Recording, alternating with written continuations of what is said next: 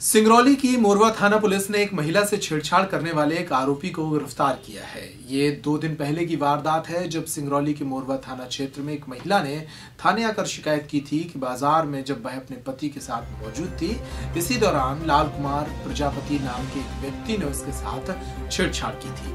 महिला की शिकायत दर्ज करने के बाद पुलिस ने आरोपी को गिरफ़्तार कर लिया है। थाना प्रभारी नागेंद्र सिंह ने इस बारे में जानकारी देते हुए बताया कि लाल कुमार प्रजापति को छेड़छाड़ की इस वारदात के बाद तलाशा जा रहा था और बीते रोज उसे घेराबंदी कर पकड़ लिया गया। तो पेप्टिक टाइम पर इस वक्त के लिए इतना ही। तमाम खबरों के लिए आप बने रहिए पेप्टिक टाइम पर। हमारी खबरों को देखने के लिए आप हमारे ऐप को डाउनलोड कर सकते हैं।